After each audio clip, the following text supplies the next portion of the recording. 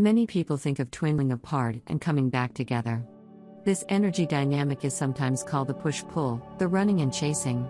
We use a lot of different terms to define this, but what we're really talking about is this dynamic of coming together in the physical, in some way, with our twin flame for a period of time, and then experiencing periods of time in between where, in the physical world, we are very separated or distanced from them in some way.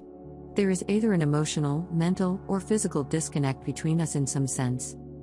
Now, a constant regardless of whether we are in that coming together time or that pulling apart time, always inherently, there is a connection that exists. In fact, the most intense, powerful, magnetic connection we can have with another soul on this planet.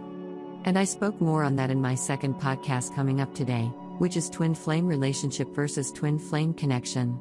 So if you haven't yet explored that, be sure to listen to that first to give us some context for what we are talking about here because the twin flame relationship and the twin flame connection are very different things.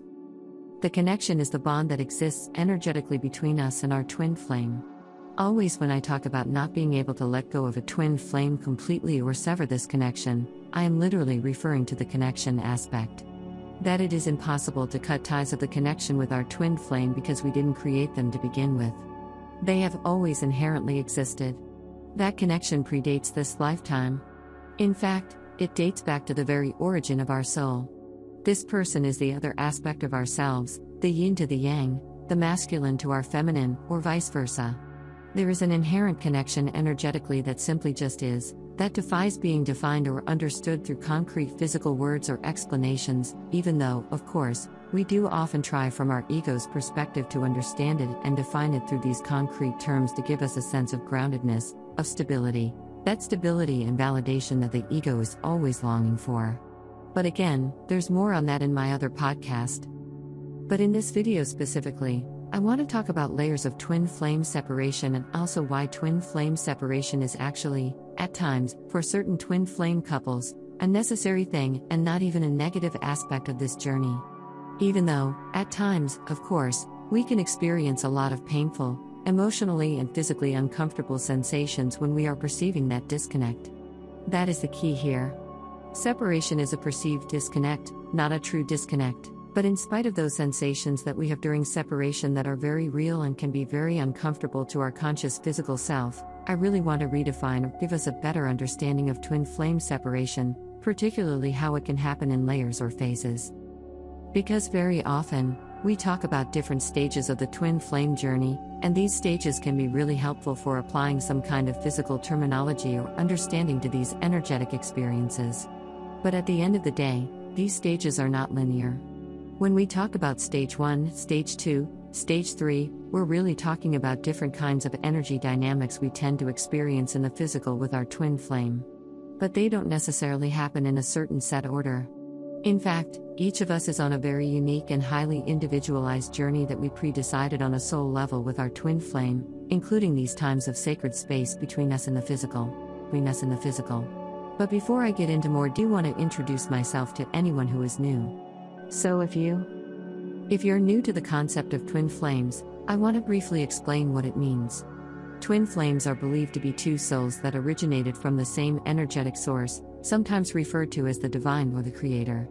These souls are said to be mirror reflections of each other, representing both the masculine and feminine aspects of a single soul.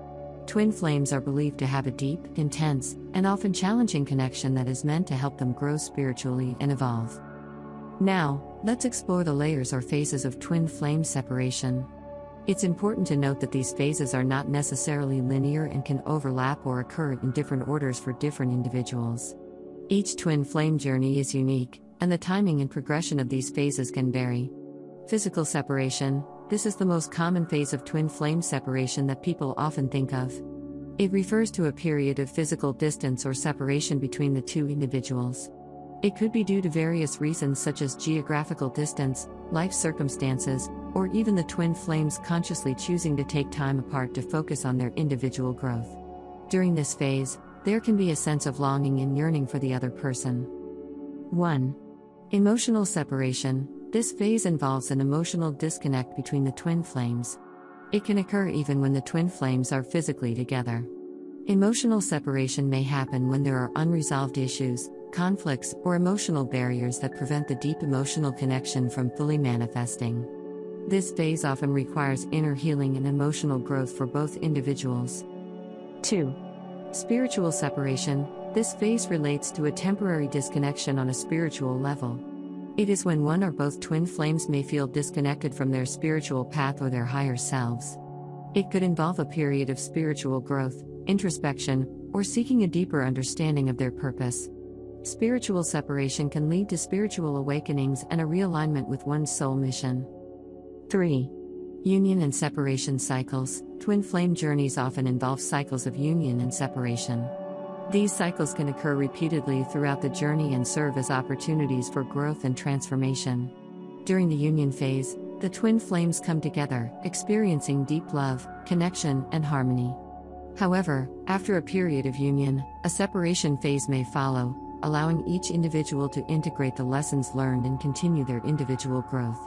These cycles continue until both twin flames have reached a state of inner wholeness and are ready for a more permanent union. It's important to remember that twin flame separation, although challenging, serves a purpose in the journey.